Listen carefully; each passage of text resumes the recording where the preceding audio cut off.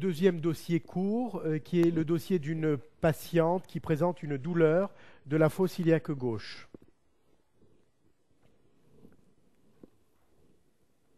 Alors, Madame S, 62 ans, mariée, consulte pour une douleur en fosse iliaque gauche avec une fièvre à 38.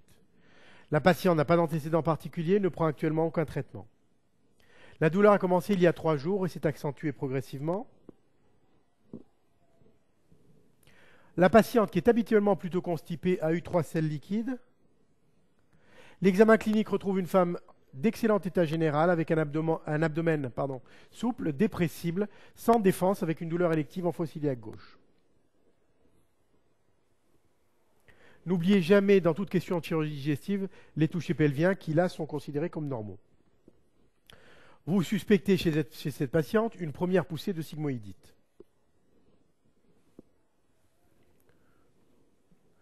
Alors, première question, qu'est-ce qu'une sigmoïdite? Quels sont les arguments en faveur de ce diagnostic? Et vous avez une minute pour répondre.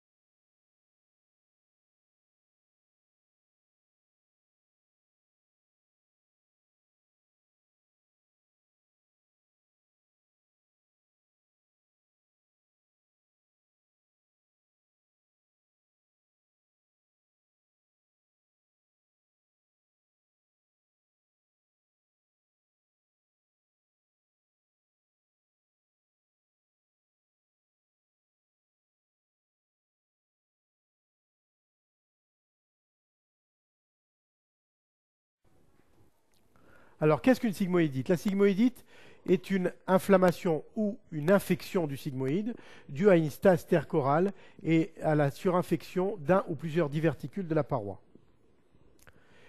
Qu'est-ce qu'un diverticule? Un diverticule est une hernie de la muqueuse colique au travers de la musculeuse et qui repousse la séreuse.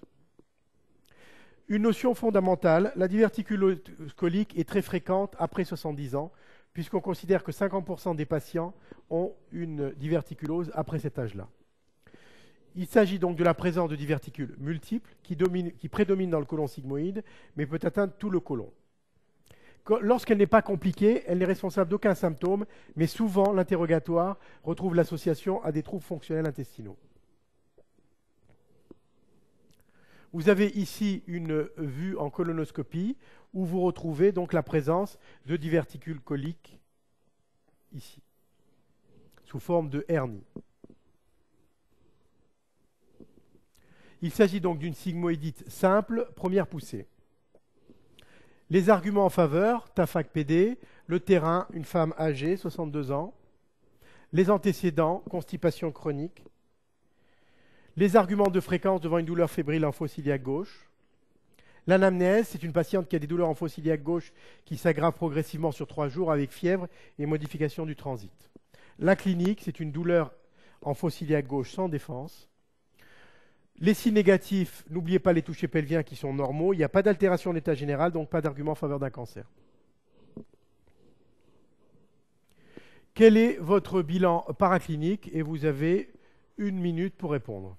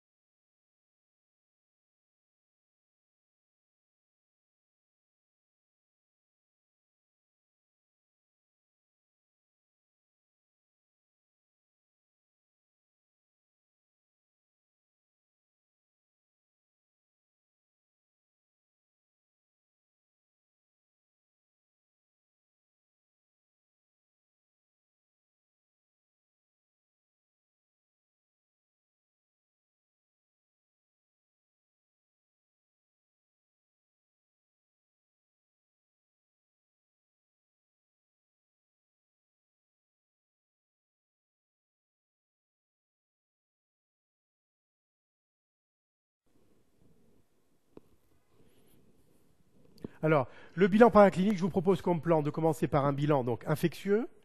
Donc, les éléments du bilan infectieux sont la numération, bien sûr, où l'on retrouve une hyperleucocytose appelée nucléaire neutrophile et une CRP élevée. On peut faire des hémocultures si la température est supérieure à 38,2. On peut demander une bandelette urinaire, plus ou moins un ECVE en fonction de la bandelette urinaire en urgence. Deuxième élément du bilan, l'imagerie. Alors, l'examen roi de la sigmoïdite aiguë et le scanner. Si vous ne mettez pas le scanner sur une question comme ça, vous avez zéro, c'est évident.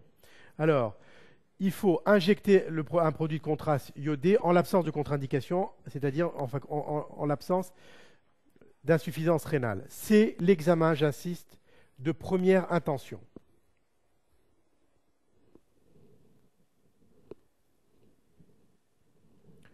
La coloscopie, attention au zéro. Elle est strictement contre-indiquée si le diagnostic de sigmoïdite est établi par un autre moyen diagnostique. Il y a un risque majeur de perforation. Donc, ne faites jamais de colonoscopie en urgence devant un tableau de sigmoïdite aiguë.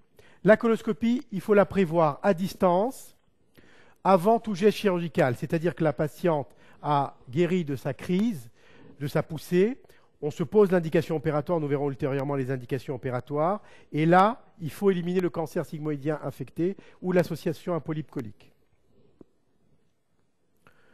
Les éléments du bilan donc le bilan est préopératoire, bien entendu, si on décide d'opérer la patiente. Mais comme ce sont souvent des patients potentiellement à risque d'intervention dans les jours qui viennent, on peut demander un bilan préopératoire d'emblée, avec un groupe sanguin résus de détermination, les RAI, l'électrocardiogramme, la radiographie du thorax de face et l'examen qu'il ne faut pas oublier, le scanner.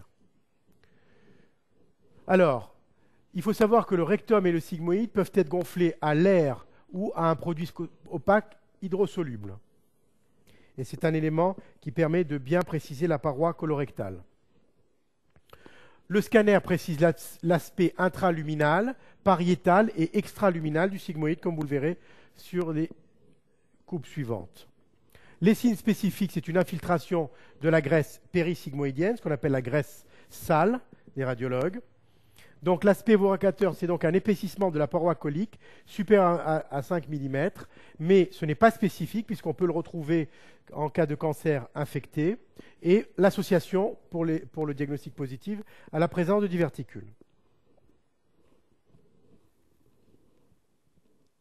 Le scanner permet aussi, et c'est fondamental pour l'indication opératoire, de rechercher les complications. La présence de bulles d'air extradigestifs, comme pour le dossier précédent. La présence d'un abcès périsigmoïdien, la présence d'un abcès dans le cul-de-sac de Douglas, et en cas de perforation, le pneumopéritoine. L'épanchement liquidien intrapéritonéal. Voici quelques euh, coupes de scanner qui montrent euh, donc les, différents stades de la sigmoïdite. Ici, vous avez donc le sigmoïde dont vous voyez la paroi qui est assez infiltrée ici, avec la présence de diverticules ici. Donc là, nous sommes en présence d'une sigmoïdite non compliquée, avec un aspect ici de graisse sale autour. Ici, nous avons un abcès périsigmoïdien, qui est le stade ultérieur, qui est fondamental à connaître.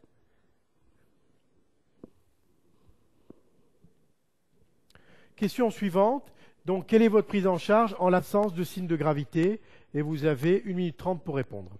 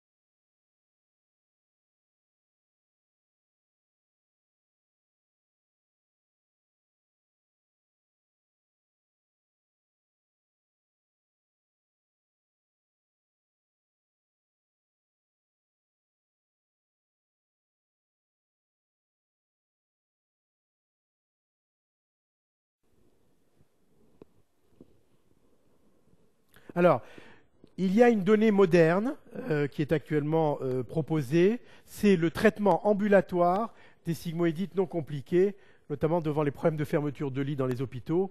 Et, donc, euh, maintenant, c'est quelque chose qui est assez à la mode et sur lequel vous pouvez, vous pouvez évoquer cette possibilité. Alors, il faut que la sigmoïdite soit non compliquée et il faut, comme pour la méthode de Taylor, que toutes les conditions que je vais vous énumérer soient réunies, toutes. Attention aux problèmes médico-légaux des patients qui rentrent chez eux et qui ensuite se retrouvent avec des complications. Premièrement, il faut qu'il n'y ait pas d'intolérance alimentaire et qu'il n'y ait pas de syndrome occlusif, c'est-à-dire que les patients mangent et ont un transit. Deuxièmement, la fièvre ne doit pas dépasser 39, la patiente ne doit pas avoir de frissons.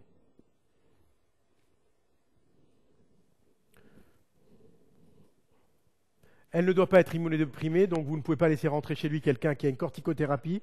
Attention, c'est l'ennemi des chirurgiens, un VIH ou une insuffisance hépatique. Il faut que la diverticulite soit non compliquée au scanner. C'est donc la première planche de scanner. Euh, donc il ne faut pas qu'il y ait ni d'abcès ni de phlegmon. Il faut que le patient bénéficie d'un entourage présent et vigilant au domicile. Le patient peut rentrer chez lui avec une antibiothérapie péros. Le plus souvent actuellement, c'est l'augmentin pendant une dizaine de jours. Les mesures associées. Il faut que le patient soit en diète de quelques heures, même s'il n'a pas d'intolérance alimentaire, parce qu'on sait que la pression intracolique qui favorise les complications est augmentée par l'alimentation. Il faut qu'ensuite le patient prenne une alimentation pauvre en résidus pendant 10 jours pour soulager son côlon. Il prendra des antalgiques. Et il faut insister, donc là j'ai mis pas mis zéro, sur ce qu'on appelle l'autosurveillance. C'est-à-dire qu'il faut bien renvoyer des patients chez eux très bien cortiqués, qui puissent pendant 48 à 72 heures se prendre la température, préciser s'ils ont des frissons et préciser l'importance de leur douleur. J'insiste sur l'autosurveillance qui est à la mode. Voilà des sujets un petit peu à la mode dans la sigmoïdite. Alors, quatrième question, une question très chirurgicale. Euh, quelles sont les indications chirurgicales dans la sigmoïdite Et vous avez une minute trente pour répondre.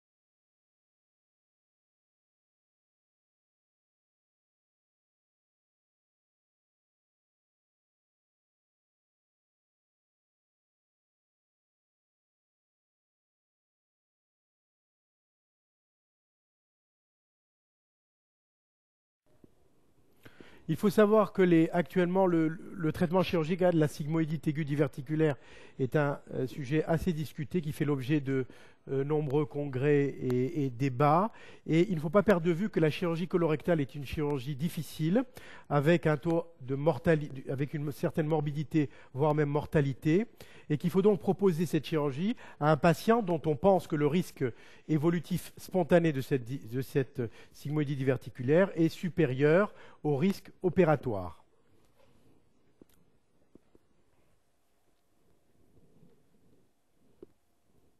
Alors déjà sur la technique chirurgicale. la technique chirurgicale est la résection du sigmoïde, qui se fait au mieux actuellement par célioscopie, qui peut aussi bien entendu être faite par la parotomie, avec une anastomose colorectale en un temps, idéalement non protégée, et l'envoi en anatomopathologie de la pièce.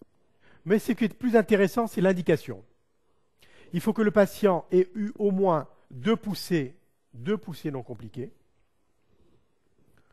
ou une poussée compliquée suffit, comme notamment la présence d'un abcès périsigmoïdien, comme vous l'avez vu sur les planches précédentes, ou une seule poussée, mais chez un patient soit jeune, soit immunodéprimé, notamment sous corticoïdes, qui ne pourra pas faire les frais de l'évolution spontanée d'une sigmoïdite aiguë sévère. Et enfin, bien entendu, si on a un doute diagnostique avec un cancer. Alors, si l'on est amené à opérer donc en urgence, une complication de la sigmoïdite qui peut être donc la diffusion d'un abcès périsigmoïdien donnant une péritonite ou une perforation du sigmoïde. la seule intervention à pratiquer en urgence, c'est l'intervention dite de Hartmann. Il faut savoir que on ne doit jamais, quel que soit le cas de figure, pratiquer une chirurgie colique avec une anastomose immédiate en urgence. Pourquoi? Parce que le côlon est rempli de matières qui sont extrêmement toxiques. Et deuxièmement, les tissus sont inflammatoires et la suture ne tient pas. Donc l'intervention proposée est l'intervention dite de Hartmann. Donc ici le cadre colique, avec donc le sigmoïde compliqué ici.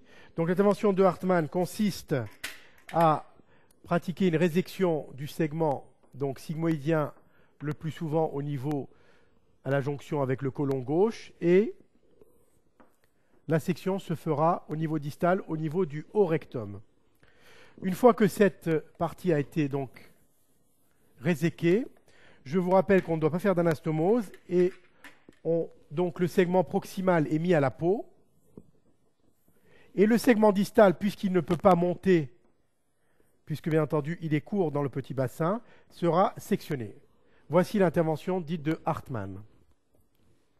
Et on termine l'intervention par un drainage plus ou moins compliqué. Donc ceci, c'est dans le cas de figure en urgence.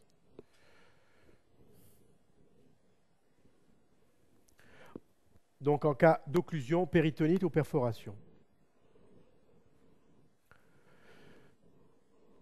Deux ans après ce premier épisode, vous êtes amené à opérer donc Madame S. Donc nous nous trouvons dans le cas de figure de la, de, résection à froid après les indications que je viens vous préciser.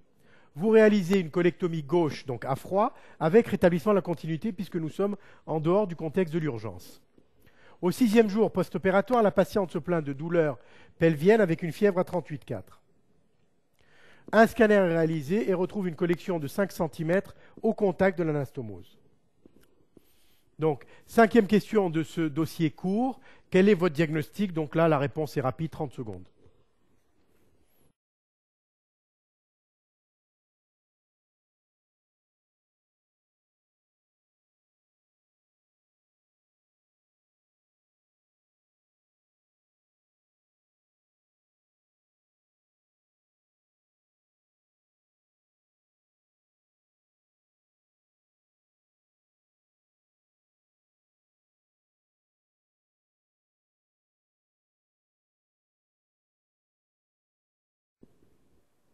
Donc la réponse est qu'il s'agit donc d'un abcès périanastomotique, puisque au niveau de l'histoire de la maladie, c'est un une patiente qui présente à J6, euh, qui est actuellement à J6 d'une colectomie avec rétablissement de la continuité, qui présente sur le plan clinique une douleur pelvienne fébrile, et sur le plan paraclinique, et notamment au scanner, une collection au contact de l'anastomose. Quelle prise en charge, question numéro 6, quelle prise en charge proposez-vous? Et vous avez euh, une minute pour répondre.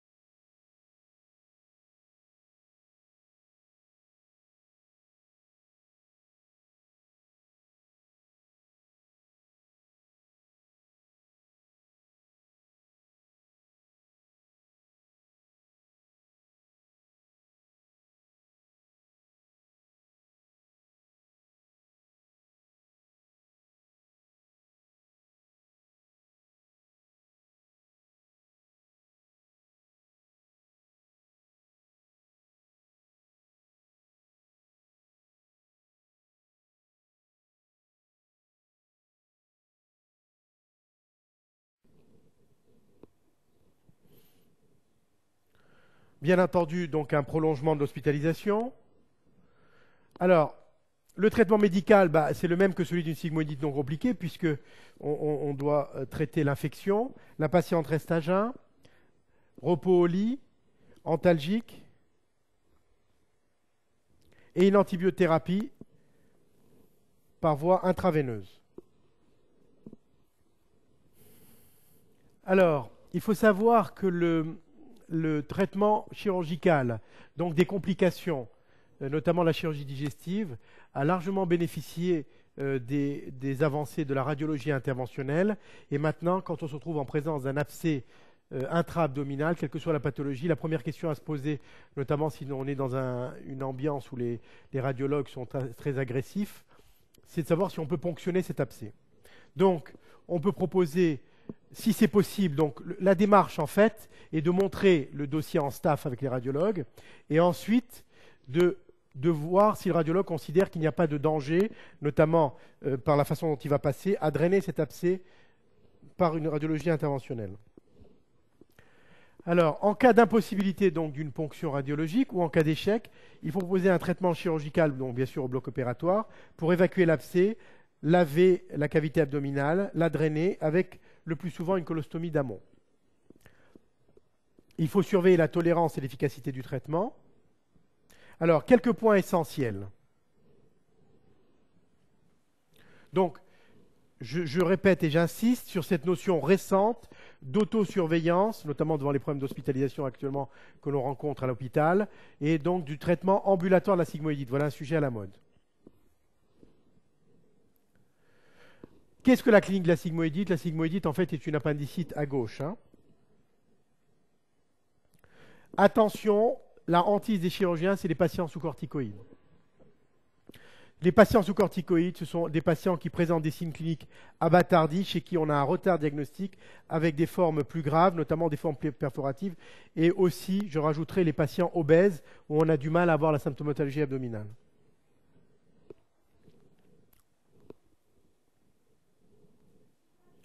Pensez au diagnostic différentiel du cancer sigmoïdien infecté.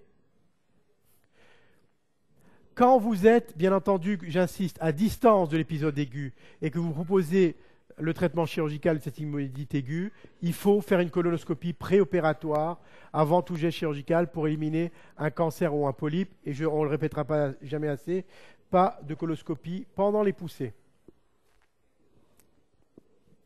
Connaître donc les signes de gravité que j'ai euh, décrits au scanner.